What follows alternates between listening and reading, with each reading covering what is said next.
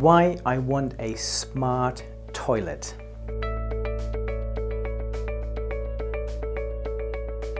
I help businesses understand how they can use technology to make their products smarter.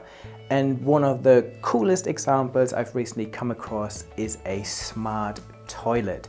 So leading toilet manufacturer Kohler, what they have recently done is they have released a smart toilet called Numi 2.0, which is an intelligent toilet.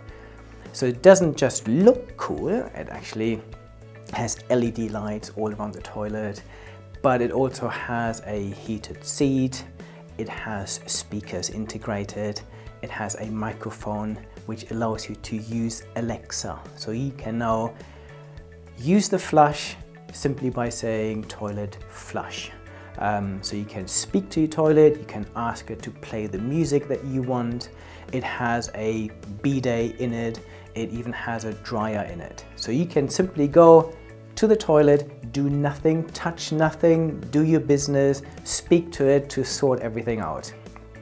And this for me is, is a great example who I, I guess I, I work with a number of organizations in this space and who would have thought that even five years ago that someone would release a toilet that you can speak to that could potentially even do more. So companies like Google are currently working on, on, an, on a toilet seat that can take your blood pressure. So maybe this could be the next evolution of the smart toilet.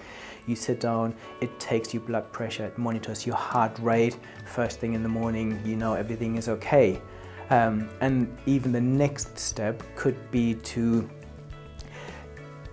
take to uh, I recently talked about a smart nappy as one of my favorite uh, smart devices and those smart nappies actually take a urine sample, a stool sample, send this to your phone, send it to a cloud, analyze it to predict things like infections.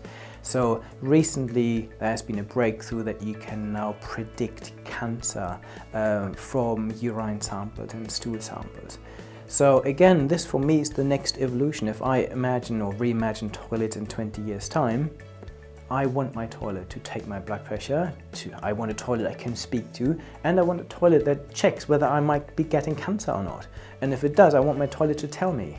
So this for me is a great example of how products are getting smarter and that every business now needs to re really think about the products and services they are developing to make sure they are intelligent because this is what consumers will want in the future.